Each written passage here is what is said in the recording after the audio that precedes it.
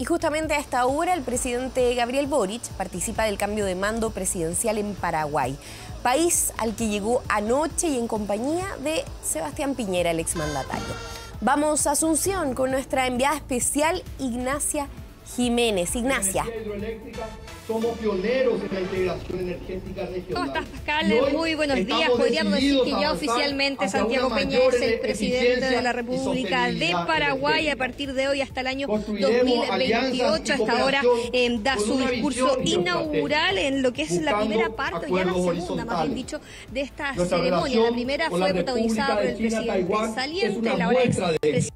del Congreso Nacional acá en Asunción, Paraguay, y ahora continúa en el Palacio presidencial con este discurso de Santiago Peña. Después de esto, todas las autoridades y delegaciones extranjeras se trasladarán hasta la catedral para eh, ser parte de un quedeo y terminar esta jornada con un almuerzo junto al presidente de la República y las delegaciones extranjeras e invitados especiales. Justamente es en esa figura que viene hasta acá a esta ceremonia el expresidente chileno.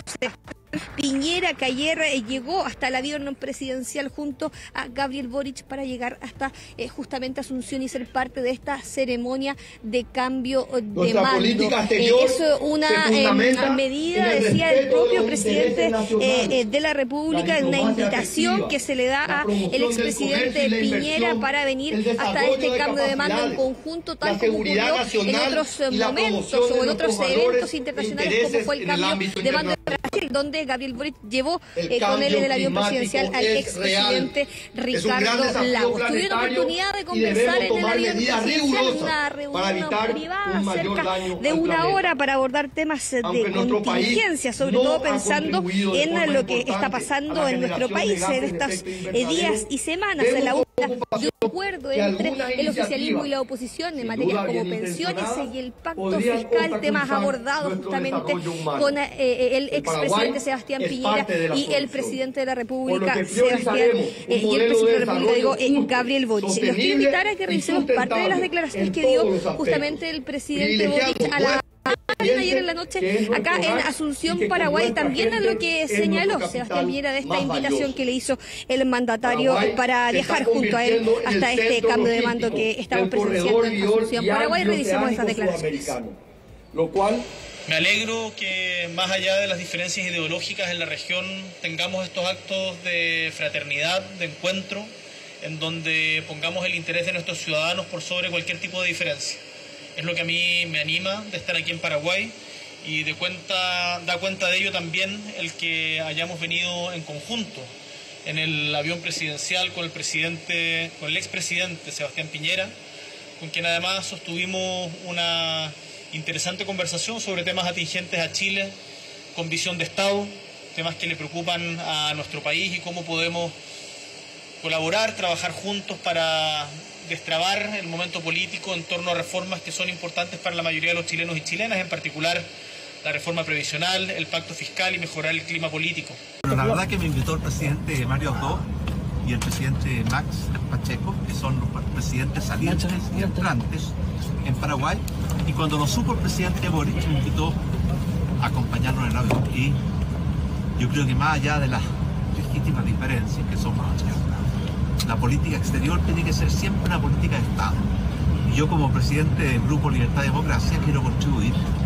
a las buenas relaciones de Chile con todos los países del mundo y en este caso Paraguay. Entre la integración y la soberanía de nuestros pueblos.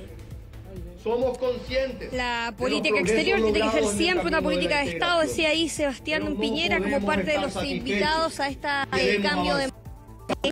Yo les decía que ahora, después de terminado este discurso de Santiago Peña, viene una ceremonia eh, católica en la catedral acá de Paraguay, un tedeum, después de eso un almuerzo donde va, van a existir dos tipos de ceremonias, un almuerzo entre el presidente em, eh, y también autoridades y otro donde van a estar también los cancilleres. Eh, en conversación en el viaje hasta acá, en Paraguay, conversábamos con el canciller Alberto Fancar y él decía que tenían hablar justamente con Paraguay cuando se trata, por ejemplo, de temas como el Mercosur, otros como la política exterior de Chile en Latinoamérica, también un corredor bioceánico que está construyéndose entre Brasil y em, Chile, Paraguay y Argentina, y que justamente el tramo de Paraguay el que falta todavía por finalizar, así hay parte de los temas pendientes que vamos a recibir en espacio de conversar en este almuerzo que yo les decía va a ser en un rato más. Ahora nosotros nos vamos a desde el Palacio Presidencial, el, la Bahía de López hasta la Catedral para ser parte también de la siguiente etapa de esta actividad de cambio de mando, que a diferencia de Chile tiene varias actividades eh, distintas en distintos lugares de la ciudad, decían ellos, con el fin también de acercar la ceremonia del cambio de mando presidencial a la ciudadanía, así que lo que viene ahora en un ratito más es ya la ceremonia en la Catedral de Asunción culturales e históricos. Muchísimas gracias, Ignacia. Estaremos atentos, por supuesto, a lo que suceda durante esta jornada. Chao.